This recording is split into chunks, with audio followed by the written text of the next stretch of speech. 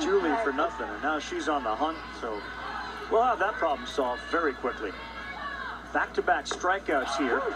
As he struck out Kinsey to end the first, picks up a strikeout of Mediger to start the second.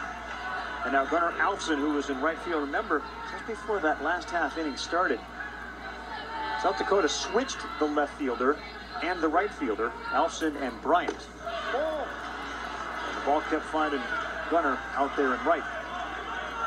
So it's 4 nothing. Five hits already for Ohio. Unfamiliar for South Dakota to give up anything.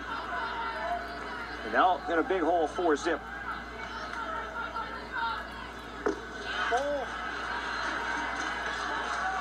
I feel like the game always seems to find you when you get a maybe a big error that happened on defense. It always seems like you're the one that's going to pick up the bat that next half inning. It's kind of how the game works. A chance to try to get back in, help your team. The swing from number seven, Gunnar Alfson, 5'1", 198.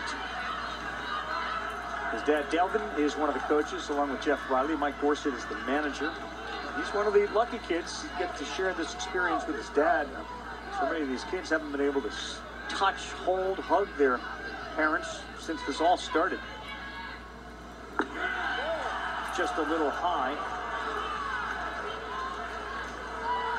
Devin Alfson right there. Um, Heidi, Caden, Jax, both brothers. They need base runners. Three balls, two strikes to Alfson. Reaches out, slaps it into center field. There you go.